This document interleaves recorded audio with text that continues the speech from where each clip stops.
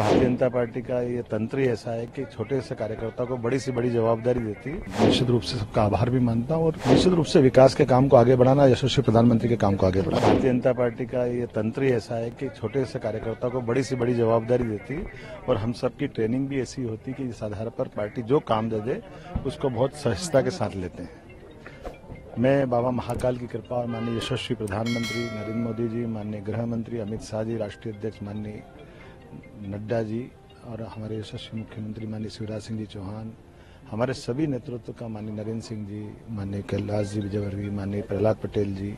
राकेश सिंह जी, माननीय we D Sharma ji, सभी के साथ हमने मिलकर के आज विधायक दल की बैठक में बैठे थे और आकस्मिक में तो सहजता से अपना पीछे की पंक्ति में बैठ करके अपना काम कर रहा था। अचानक वहाँ जो घोषणा की है मैं निश्चित रूप से सबका आभार भी मानता हूँ और